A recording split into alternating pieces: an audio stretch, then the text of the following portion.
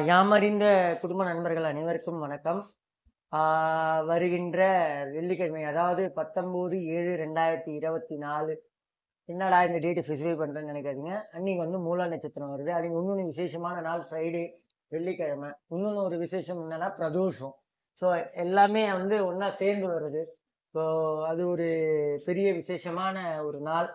அந்த நாளில் வந்து மூல நட்சத்திரம் வருது. அது ஒரு விசேஷம் தான் இதில் வந்து நான் சொல்ல போறதுனா இந்த மூல நட்சத்திரத்துல பிறந்த ஆணாக இருக்கட்டும் பெண்ணா இருக்கட்டும் அவங்களுக்கான ஒரு சின்ன பரிகாரம்.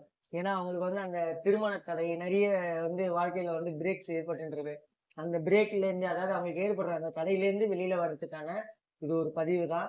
அந்த நட்சத்திரத்தில் பிறந்தவங்க வந்து இதை கடைப்பிடிக்கணும். அவங்களுக்கான பெற்றோர்களோ உறவினர்களோ கடைப்பிடிக்கிறதுல பலனில்லை அந்த நட்சத்திரத்தில் பிறந்தவர்கள் தான் இதை கடைபிடிக்க வேண்டும் என்ன அப்படின்னு பார்த்தீங்கன்னா வந்து இது வந்து நம்ம மூதாதையர்கள் சொன்ன ஒரு விஷயம்தான். பச்சரிசி வெல்லம் அருகம்புல் கரும்பு. இந்த நாளும் ஒன்றா சேர்த்து யானைக்கு கொடுக்கணும். பட் நம்ம சென்னையில் இருக்கிறவங்களால யானைக்கு கொடுக்க முடியாது. இந்த நம்ம கிராமப்புறங்களில் இருக்கிறவங்க வந்து கோவிலில் இருக்க யானைக்கு இதை வந்து கொடுத்துட்டு வந்தால் அந்த மூல நட்சத்திரத்தில் பிறந்தவங்களுக்கு ஏற்பட்ட எந்த விதமான தோஷமாக இருந்தாலும் அந்த தோஷம் நீங்கிடும்.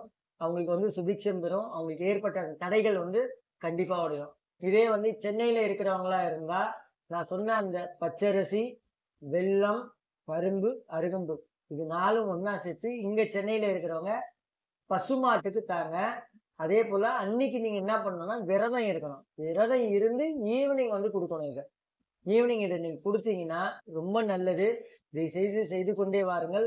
அந்த மூலா நட்சத்திரத்தில் பிறந்தவங்களுக்கு ஏற்பட்ட சகலவித தோஷமும் நிவர்த்தியாகி அவங்க வாழ்க்கையில சுபிக்ஷம் பெறும்.